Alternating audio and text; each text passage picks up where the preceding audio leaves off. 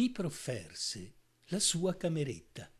Credetti in principio che scherzasse, ma quando m'assicurò che aveva lì veramente una cameretta per sé, non volli accettare e andai con lui nel dormitorio dell'asilo. Non me ne pento perché al disagio e al ribrezzo che provai in quell'orrido luogo ebbi due compensi.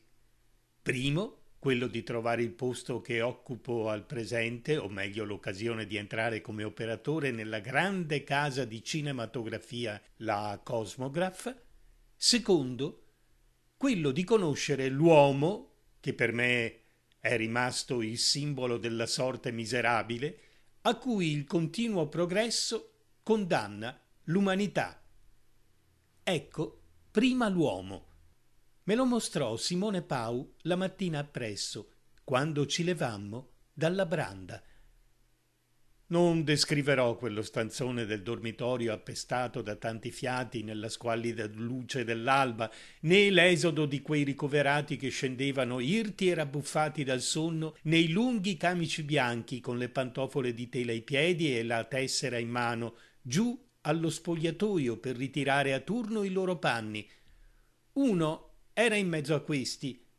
Teneva stretto sotto il braccio un violino, chiuso nella fodera di panno verde, logora, sudicia, stinta, e se n'andava inarcocchiato e tenebroso come assorto a guardarsi i peli spioventi dalle foltissime sopracciglia, aggrottate.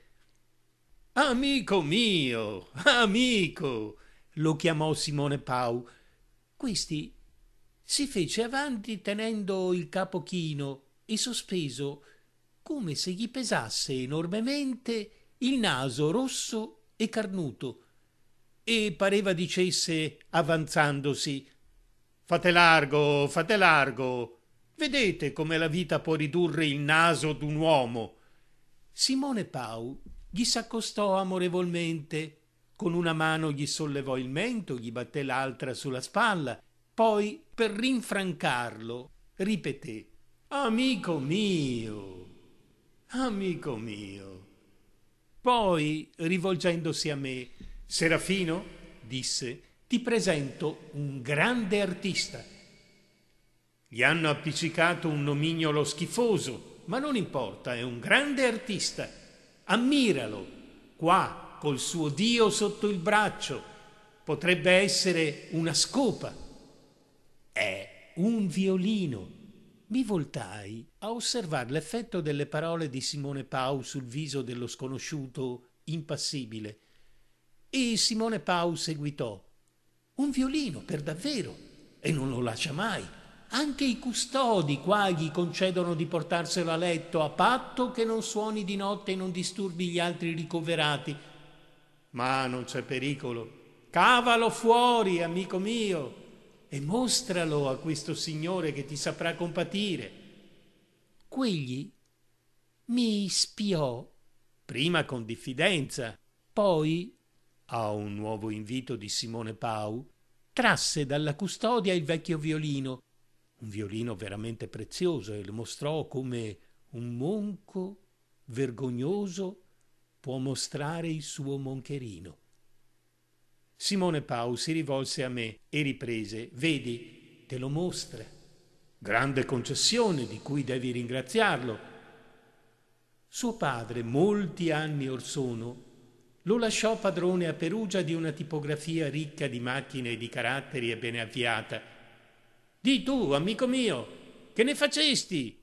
L'uomo rimase a guardare Simone Pau come se non avesse compreso la domanda. Simone Pau gliela chiarì. Che ne facesti della tua tipografia? Quegli allora scattò in un gesto di noncuranza sdegnosa.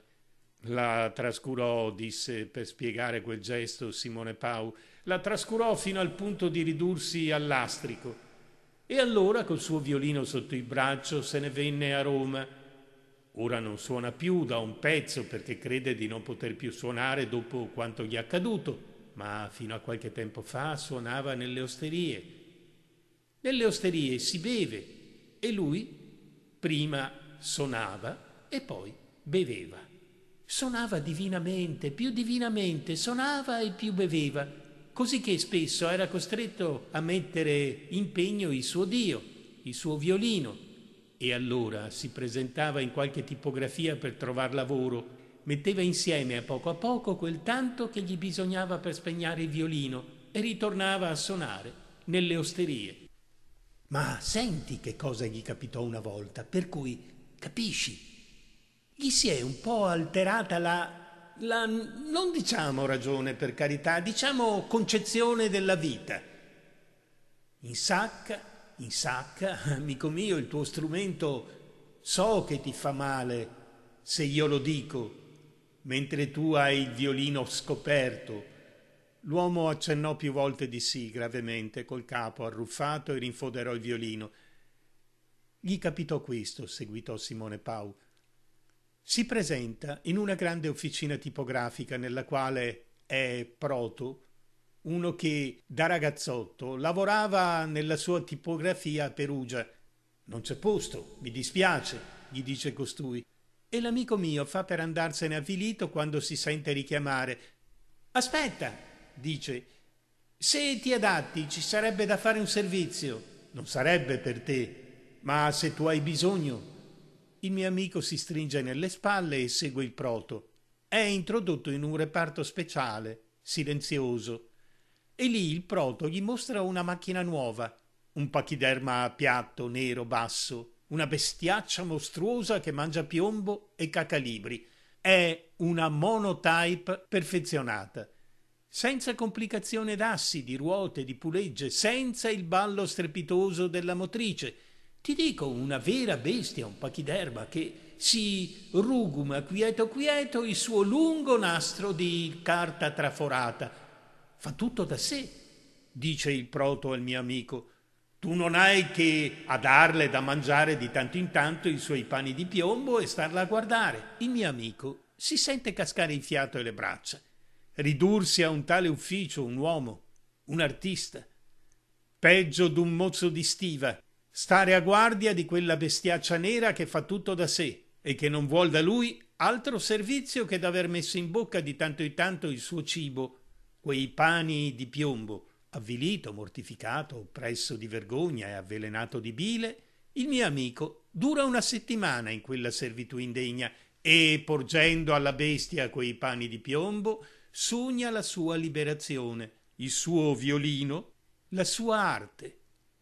Giura e promette di non ritornare più a suonare nelle osterie, dove è forte, veramente forte per lui, tentazione di bere, e vuol trovare altri luoghi più degni per l'esercizio della sua arte per il culto della sua divinità. Sì, signori, appena spegnato il violino, legge negli avvisi d'un giornale, tra le offerte d'impiego, quella d'un cinematografo in via tale, numero tale, che ha bisogno di un violino e di un clarinetto per la sua orchestrina esterna.